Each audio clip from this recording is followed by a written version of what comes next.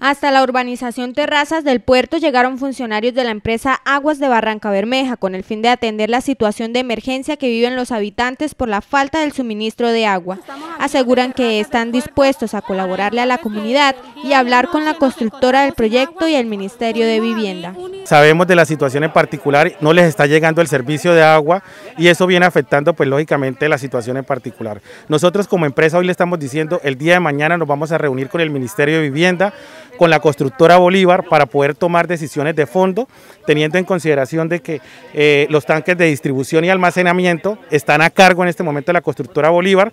Si ellos quieren que eso se traslade a la empresa Aguas de Barranca Bermeja, deben entregarlo debidamente eh, saneados, optimizados y en excelentes condiciones para que nosotros como empresa empecemos a operarla. Entonces básicamente el compromiso del día de hoy nosotros como empresa y como gobierno es decirle a la comunidad que estamos al frente de esta situación, que sabemos la necesidad que se tiene y que vamos a entrarle a buscarle una solución definitiva. Por su parte, vocera de la comunidad asegura que desde que se les fueron entregadas las torres en el año 2017, la problemática por el suministro de este vital líquido ha sido constante.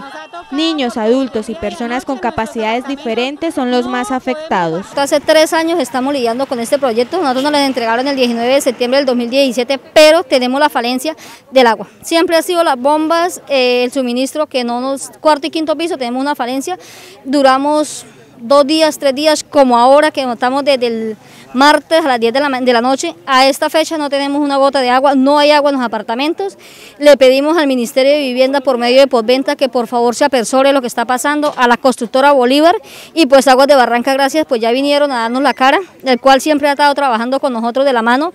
Eh, pedimos que por favor tengan en cuenta que aquí vemos más de 5 mil personas donde hay niños, ancianos, discapacitados de los cuales el agua es indispensable. Los más de 5.000 habitantes del sector esperan que su problemática sea solucionada tras el acuerdo que tengan estas entidades.